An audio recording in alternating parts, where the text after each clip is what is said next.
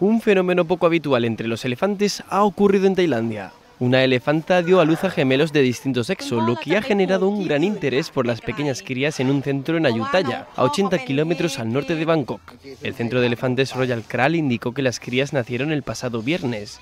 Primero fue el macho con un peso de 80 kilogramos y 18 minutos después la hembra de 60 kilos. Los dos pequeños paquidermos recibirán sus nombres en los próximos días. La madre se llama Chamchuri y tiene 36 años, mientras que el padre tiene 29 y se llama Siam.